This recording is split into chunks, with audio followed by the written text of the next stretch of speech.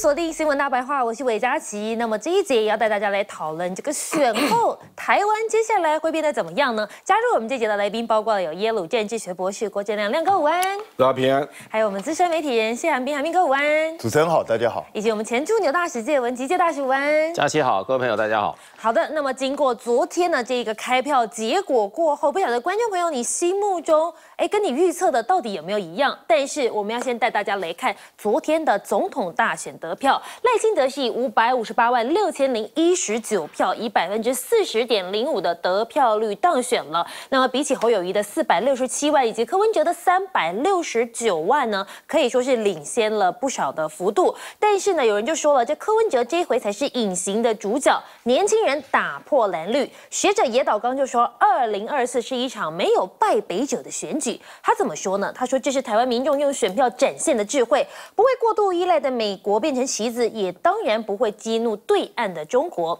他说：“你看，民进党险胜，达成继续执政的目标，但是国民党也在立法院有所斩获，立委的席次大幅提升，成为最有影响力的国会最大党。至于民众党跟柯文哲，则是累积了能量，第一次选就有三百六十九万票，也成为了国会的关键少数。但我们就带你来看到的是，还记得选前之夜，大家不是群情激昂吗？那么柯文哲的选前之夜，甚至破了三。”十万人上凯道，当时呢还有人说破这个阿兹卡线呢，哇，真的是相当的惊人。网络上就有说了，白的极限是蓝绿的底线。二零二四总统大选投票率是七十一点八六，历年倒数第二低。年轻人喊挺科，但是是不是没有把它化作实际的行动，把它变成真正的选票呢？我们就带你来看到的是二零二四的全国投票人数呢，可以投票的是一千九百五十四万人，其中我们要拉出来看的是，你可以看到五十到五十九岁就有三百五十三点一万人，六十岁以上也是六百零五点四万人。你可以看到他们几乎是占了绝大多数，而通常。他们也认为这个年龄层分布的人基本上是不会支持民众党，也不会支持柯文哲的。这会不会就是因为他选票没有出来的原因呢？那么柯文哲也讲到了，民众党这一次的选举跟过去其他政党完全不同，因为他们靠的是公民运动，组织的部分不如蓝绿，文宣的部分纯粹靠自媒体，力量跟资源也远远不如其他两大党。但是他们没有深耕区域，提出来的十一个区域立委全军覆没，最后是挂弹收场。那么，民众党他们就说了，今年是采取精兵策略，全国提名了十一个区域立委候选人，全军覆没，也显示他们区域经营的不够多，所以陆战跟地方组织。到现在可能还是民众党需要去突破的问题。不过我们带你看到的是柯文哲三百六十九万票落败了。韩国瑜之前不是讲说他的票都是空气票吗？网友就大赞，难道韩国瑜是先知吗？因为韩国瑜之前不是讲了吗？柯文哲在这场选举都是空气枪，非常热闹，但是不会赢。日本学者小笠原怎么看呢？他说，你可以看到民进党的得票率减少了百分之十八，其实应该是流向了柯文哲。他说，你看四年前。蔡英文的得票率是百分之五十八，赖清德这一回大概是百分之四十，扣一扣，十八趴的选票流失到柯。四年前比较多年轻人投蔡英文，但这一回到选举最终盘，年轻人似乎更倾向投柯文哲。这一回投票数跟上次总统大选比是。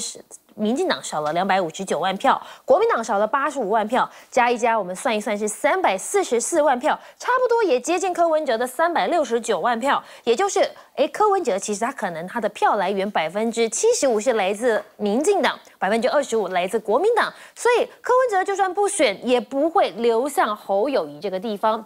那么有人就说了，差一点完成第四次的政党轮替，韩国瑜道歉，还承诺了一件事，让两万多人洗版。他怎么说？虽然我们没有。完成政党轮替的目标，但是我们不会放弃我们的初心。下面大家就会怎么喊？给我一个立法院长韩国瑜。那么现在是不是要往国会推进了呢？因为国民党说要推立韩国瑜当立法院长，要来监督在野。在野监督民进党，那么现在柯文哲就被问到了，是不是诶要跟选前一样，你要挺韩国瑜当立法院长呢？现在似乎是有一点改变了吗？因为他说私人交情是一回事，民众党是群体决策，未来几天开会来决定来解决这个问题。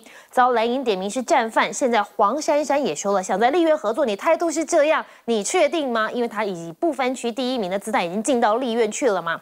那么蓝白立院合是不是天变数了呢？蓝白合。有人就疯，黄珊珊现在已经是小英女孩，不是当初追宋楚瑜的爱徒了，所以有人倡议呢。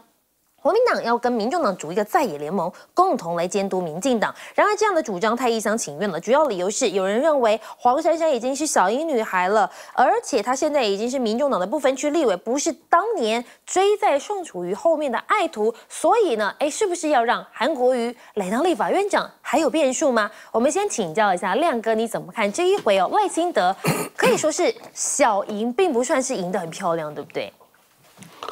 我市场民进党在 选前最后估票，还认为赖是六百万起跳，哦，那显然是低于预期啦。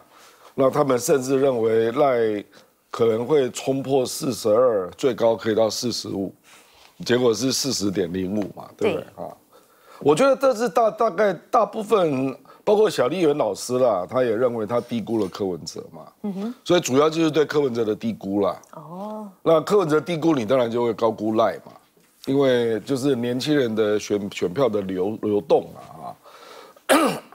那柯文哲为什么得不到五十岁以上的人的，就是绝大多数没有投给他？因为五十岁以上的选民就高达九百五十万。对，所以你如果在这个部分。没有办法得到一定的比例啊，那你根本不可能当选啊！啊，那为什么会这样？我觉得这个很现实啦，就是人家你没有看过你执执过中央的政嘛，嗯，或者对于你这个政党不熟悉嘛，嗯哼，这个我们简单讲，这个我们政治学上就是说，大家会根据习惯来投票了，啊，就说五十岁以上的人，大部分都投过很多次票了，哦，所以他会从国民两党去寻找经验啊。那他对民众党不熟悉嘛？那你可以说二十到四十岁的他愿意愿意尝试创新呐，所以他愿意试，愿意尝试了啊。所以二十到四十岁就有大量的选民支持柯文哲。事实上，四十到四十九岁三个人差不多，哦，大部分都是差不多三分之一，对啊。可是二十到四十岁非常明显支持柯文哲啊，那这个就凸显出。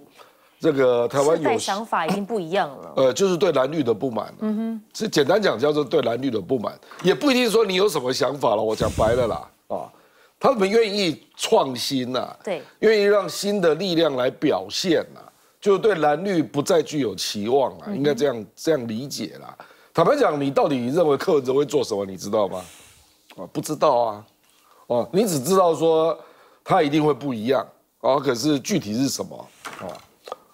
所以我是觉得，所以所以这个就是要，所以这次民众党现在立委变成八个嘛，对，所以他们的表现就会变得很重要，因为这个会决定你，比如说二零二八柯文哲要不要再出来哈，那人家会对民众党要有新的评估嘛。事实上，你本来只有五席的时候，人家还没有那么注意你啊，啊，因为那个时候是民众党刚成立。就迅速就选举了，啊，结果他就莫名其妙得到五席这样啊。那这次是经过比较长的时间，大家在观察，那还是投给你这样的一个选票八席嘛，嗯，所以我认为他未来在立法院的表现就会蛮蛮蛮严重的影响到二零二八，人家是不是继续支持你了啊？那当然，二零二六年他们一定会推出非常多的。地方议员参选啊，扎根组织这个不，这个都是联动的，这个都是联动的。那我也相信他议员会选的不错了啊。不过就是说，这个时候他碰到了抉择了，就你到底要跟绿的合作，还是要跟蓝的合作？这个会影响蛮大的啊啊。比如说，我现在事实上也已经看到了一些说法了，比如说蔡正元，他就认为黄珊珊是要跟绿的合作，啊，那主要就是。因为他要帮民众党一些干部争取加入政府的机会，嗯哼，那因为民进党执政嘛，所以可以安排工作啊。可是你如果选这个路线，你就会减少了监督的能量，对，你一定会卡卡嘛，这是必然的哈。那黄国昌这样的人就不容易有充分的表现啊，因为黄国昌是监督咨询非常有爆发力的人，嗯哼，啊。那你如果选择跟国民党联合，那当然就是都就是广广义的在野联盟，对，那就跟民进党对着干嘛啊？那这这里面民众党会有比较大的表现机会啦。所以我觉得，因为二月一号就要选正副院长，对，所以这个会蛮关键的。这就是民众党，他说他隔几天要开会决定嘛，啊，他可能要想清楚了。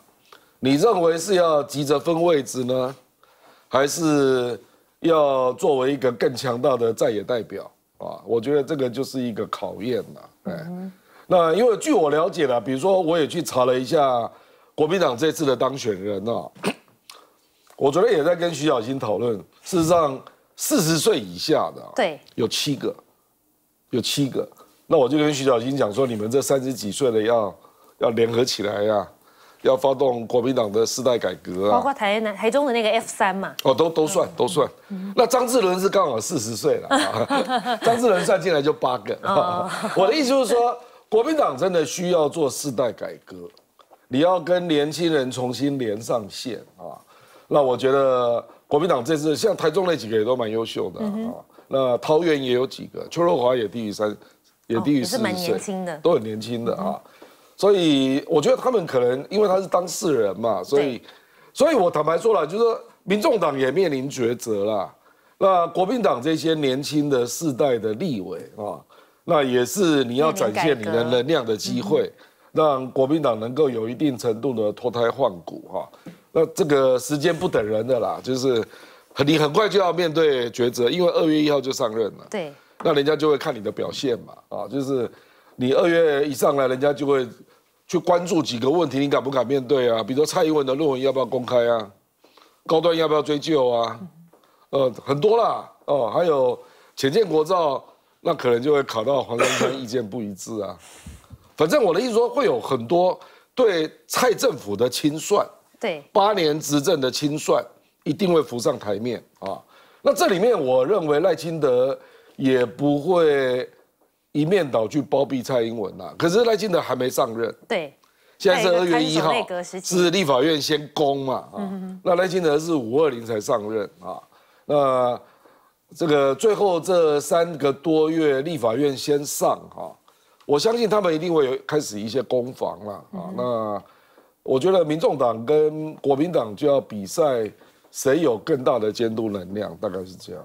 那我们来请教一下韩冰哥，你又是怎么看呢？那个在选前之夜的时候，当然了，在凯道这个状况，很多人都吓到，哇！民进党、民众党这么大的声势，那最后开出的票却是三百六十九万，您怎么看？呃，其实那天晚上，嗯，人确实非常多，可是台湾好几次的选举都已经告诉你，人多跟选票根本是两回事啊。韩国瑜当年人也不会输这个场面啊，结果还不是一样输，所以我我觉得。就是你造势可大概可以凝聚自己个自己阵营的力量，但是你要去向外拓展票源，反而不见得那么有效果。甚至因为你的造势场面过于热闹，反而可能激起那激起敌对阵营可能更加凝聚，可能让某一些本来不想投票的人，他想说不行，看你这个声势，我还是我还是要去投一下票。所以这个是正反两面效果都有。所以，我我个人一直觉得造势活动大概就只是最后的一个。一个声望的凝聚，但是恐怕对真正的选举结果不见得有直接性的帮助了。那这次的选举结果，其实这个野岛刚他认为是台湾民众用选票那展现的智慧，我一点都不这样认为。我觉得这跟智慧一点关系都没有，这只是刚好台湾现在选民结构就是这个样子而已。这个这个跟智慧没关系，因为台湾现在就是很多人不信任国民党，但是很多人讨厌民进党。那在这种状况下，就给了民众党起来的一个机会。那接下来就是民众党也需要开始被检验，因为你在很多议事的攻防上，你可能要大家对你的检验会越来越多。因为如果你没有办法满足你的选民的支持的话，你确定四年之后民众党的制度还有这么高吗？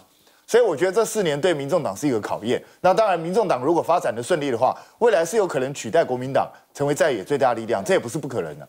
但是就是看你怎么样去发展。那国民党自己本身当然问题也非常多，我我觉得从昨天那个选举结果，因为出差不多半个小时之后就知道差不多就是那个样子了，就没什么太大变化，所以那个时候就看到很多蓝白彼此互相在攻击啊，说对方是战犯，这谁扯谁后腿啊什么？我觉得去扯这些东西根本没有什么意义。为什么？你扯这些东西能够改变现在选举的结果吗？不能嘛。那你就算找出战犯来，那那又怎样呢？你觉得下一届会怎么样呢？我觉得每一个政党都应该要去思考，包括民进党在内都要去思考，你下一届你要怎么样自己单独能够过半，这才是最稳的嘛。依靠别人不如靠自己嘛。这个对民进党来讲也是个警讯啊，他的制度已经落到只有四成了。那只有四成之后，未来他再也不能像过去蔡英文政府这样子，他高兴干嘛就干嘛，这也是他自己造成的一个结果。那可是同样的，对蓝白来说的话，如果你们还是在这边怨天尤人，都在怪这怪那怪谁？那到最后的结果，四年之后再输一次而已啊！我我必须提醒大家，四年之后，因为柯文哲已经说他四年后要选嘛，那四年后赖清德一定也想连任嘛，那国民党这边也不可能就放着嘛，所以到四年之后，很可能还是个沙卡都。那请问一下，四年之后要怎么胜出？因为我估计四年之后，因为经过了这四年，柯文哲大概更不可能跟人跟蓝军合作，基本上就是这样子啊。那请问一下，那要怎么样在这沙卡都当中突围呢？不会四年之后再重演一次这个东西吧？所以我觉得大家自己都要去思考，到底要怎么样能够让自己获得更多选民的认同支持。那国民党当然就是年轻的支持度一直都是最低的。以前民进党就跟民进党一对一，就是输在年轻人。现在三卡都你还是输在年轻人。那国民党怎么去吸收年轻人？这就是他们自己的问题。那其实像韩国瑜说柯文哲是空气枪，其实这是他未卜先知吗？不是啊，大家都知道。我一直认为这次的选举的结果大家都知道。你看昨天。大部分的人都表现很冷静。你看何伟仪上台就一副早就林北早就知道会输了，你们在干嘛？你不觉得吗？他那个样子。然后柯文哲一边在念稿的时候，他是笑着念的，所以他也知道一定会输啊。其实最紧张的是赖。对，因为赖怕选的不好看，对，就是这样子而已。所以我看柯跟侯都知道自己会输啊，因为我们大部分人也都知道会输啊。所以我觉得，那这样子你们自己就知道自己的弱点在什么地方，问题怎么改变这个弱点？接下来侯大概就是要努力去回防新北市，因为他可能要面对罢免的问题。嗯，那其他的人呢？蓝军有没有下一代的新生代可以出来呢？我觉得大家自己各自要去想。接大使，你又是怎么看呢？现在好像在国会也没有一定要蓝白合，就对立法院长这件事情会有变数吗？你怎么看？当然有变，当然有变数啦，因为柯批也没有讲说一定是要合啊，他说是要看议题啊，看这种哈，看情况嘛。因为他现在等于说是关键少数啊，他当然是为他自己本身党的利益做最好的打算了。那不过他应该要要在他竞选的做了很多的承诺哈，他如果将来要跟民进党做合作的话，我觉得他他要跨过很大的一个哈鸿沟，对，因为这会让支持者也好或者旁观者啊，他认为他这个就是一个为了权力啊，没有什么理想的一个政客啦。所以他必须要考虑到他的整个的人设啊，啊，甚至整个这个民众党的哈的人设的崩跌，哎，他要汲取有几个政党的这潜潜力啦。第一个就是亲民党了，第二以前还有这个台湾团结力量了，还有这次刚刚消失的时代力量，台湾团结联盟，对，哎对，还有这些部分的话，我觉得他应该要继汲取，要不然的话，呃。这个整个经验都不太好。这个社会啊，社会大家虽然说群众是健忘的，可是也没有那么的健忘，所以他的路线他还是要抓的比较紧，要做一个一个忠诚的反对党哈，这是还是他在选举中的哈，给他的选民的一个承诺，也是给台湾社会啊大家对他的一个认知。那你一选完就去跟这个跟这个他反对的政党啊，就握手言和的话。我想受伤最重的是他啦，受伤最重的他。另外一个野岛刚讲这句话，其实我们从反面看啊，野岛刚的意思是说没有败北者，反过来看是什么？没有赢家，没有人赢家。那赖清德他意思说赖清德也没赢嘛，对，所以他的话事实上你要两面看，也就是台湾事实上这个体制的话，事实上话，你如果 四十趴的选票，你去把另外六十趴的话。你要强调，你未来你要他强臣服于你这四十趴少数的这种啊意见或者政策的话，那只会造成社会的动荡。嗯哼，哎，所以我觉得这个野岛刚一方面也是在提醒啊，那个赖清德，你不要把不要把真正把自己当做一个好胜利者，哎，所以这句话我觉得他也是有深深的意涵呐。那将来这个立法委员，这个立法院目前的这个这个将来是由谁当院长啊？哪两个党结盟的话，当然一般来讲的话，两个都是反对者嘛，两个都是要监督现在的治，监监督现在的这个哈民进党。如果说有一个政党去跟那个现在的这个执政党去妥协了，因为我们有一个理由，主要是为了几个官位的话，我觉得哈，那如果是柯批他决定这样做的话，那是他民众党的一个灾难的开始啊。好，那我们休息一下，广告之后回来带您继续讨论接下来的国会会怎么运转。